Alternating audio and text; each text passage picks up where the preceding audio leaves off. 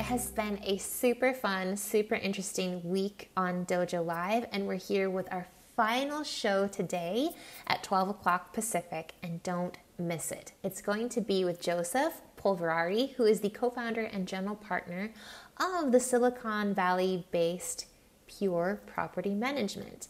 And he's postulating that PropTech is just fintech with a P.